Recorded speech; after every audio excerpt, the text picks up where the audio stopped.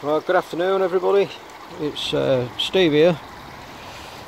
And this is a, a culmination of how well my filters are doing based on Devon Koi. Thanks for his videos and his input. And poor James the Koi Whisperer who's really suffering and we are feeling for you mate. Stick in there. I know you're not a big fan of easy pods and you've clearly stated why on your videos but I've got a manual easy pod. And I always wondered how well it can filter and why my water is always seems to have a haze to it. It's never crystal clear.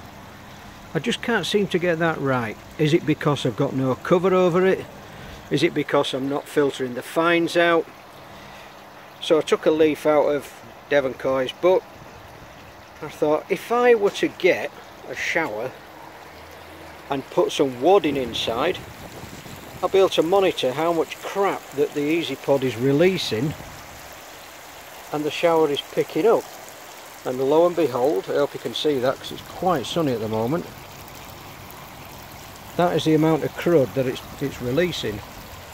Now this shower is by no means activated as, as well as the bacteria is concerned.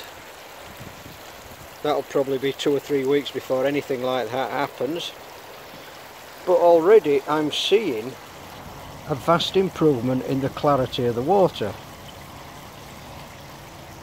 And despite my previous videos about future plans and making it deeper as discussed due to the money situation it can happen but I've got some wood being delivered on Monday and I'm going to build a pergola over the top and a fine mesh cover which will allow rain to fall through but keep away direct sunlight fingers crossed.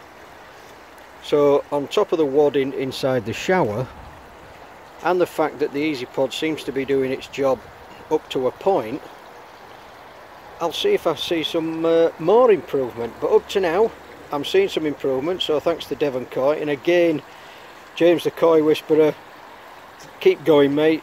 You know we're all behind you. We want to see some good results and you need two or three days where everything's going right and just doesn't seem to be falling apart because I think you're you've had your share of bad luck now mate. So fingers crossed for you and we'll catch you on the next one